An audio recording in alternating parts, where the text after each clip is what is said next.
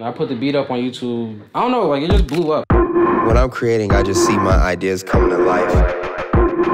When I create, I see the future. It's about staying true to who you are and translating that into music.